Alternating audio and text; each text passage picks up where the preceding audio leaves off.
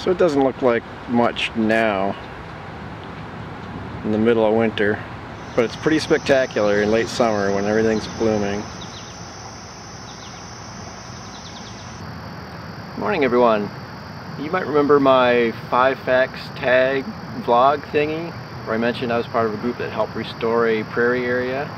Well this morning I thought I'd show you what it looks like now when everything's in bloom.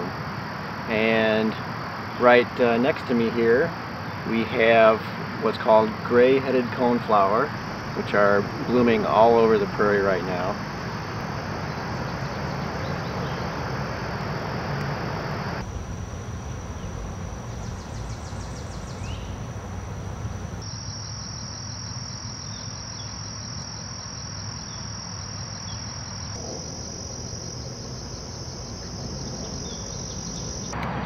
This is called wild bergamot.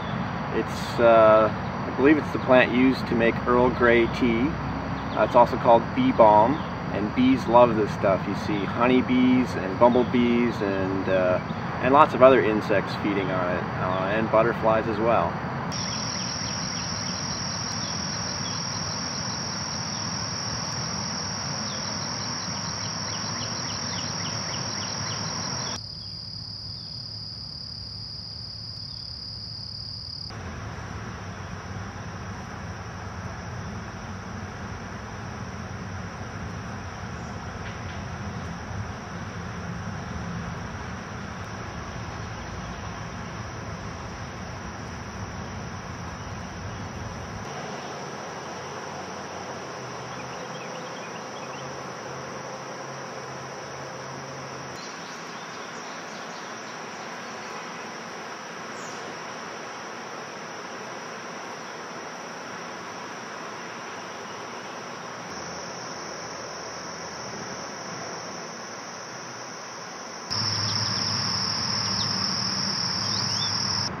This is a cup plant. I think they get about seven, six or seven feet tall.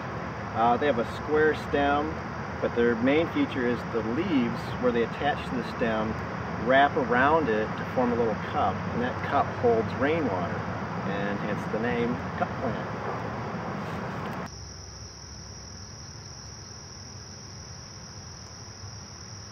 These are black-eyed Susans.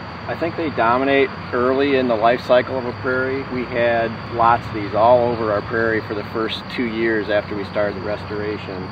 Uh, but now there's only a few small pockets of them left as the more competitive plants have uh, taken over and filled in.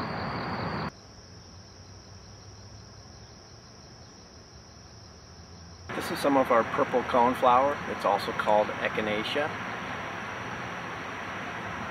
coneflower is what's known as a composite flower because each flower head is actually a composite of dozens to hundreds of little tiny flowers and a lot of times flowers like this they'll actually bloom in a sequence starting from an outer ring and moving in towards the inner ring.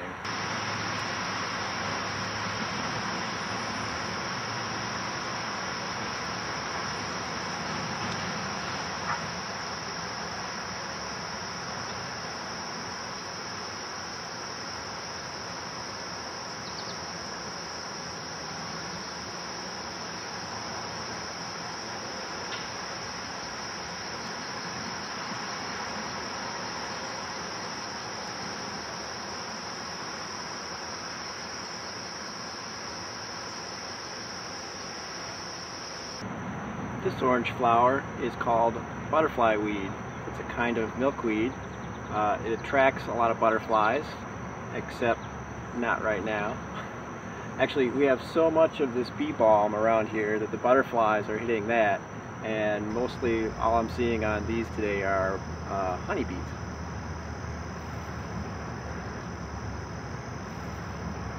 I found a great view of the prairie by climbing this dead tree.